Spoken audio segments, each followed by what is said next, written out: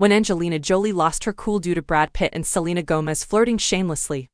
And she demanded that he cut all ties with the brunette beauty. Many people are unaware, but Selena Gomez formerly harbored feelings for Ryan Gosling, the Barbie star, and Brad Pitt, meeting the once upon a time in Hollywood actress at the 2016 Golden Globes after party fulfilled half of her dreams. But are you aware of this? Angelina Jolie was not at all pleased with their union. The hot scoop is below, scroll. On her Instagram account, Selena posted a fangirl moment she had with Brad back in 2016. Pitt looked good in a black tux, while she was dressed in a white maxi dress with a thigh slit. As she stated in her Instagram caption, they were talking about his 2015 movie The Big Short while seated on a couch. Despite the fact that the photo went viral, Selena Gomez and Brad Pitt had a conversation, which did not sit well with Angelina Jolie. Angie blew a gasket when she saw Selena's Instagram and heard through friends about how Brad and Selena flirted so shamelessly, the National Enquirer reported. Selena is now boasting to everyone that Brad is eager to work with her again on a film. Angie is clearly not happy that Selena is playfully referring to Brad as my future husband everywhere she goes. Additionally, the story stated that Brad Pitt was given the order to cut all ties with Selena Gomez by Angelina Jolie. She has reportedly even requested that he never collaborate with her. Fans, who had been anticipating for a movie featuring the two, were devastated to learn the news. Following an alleged confrontation between Brad and their son Maddox on a private jet, Angelina filed for divorce, and Brangelina announced their separation in September 2016.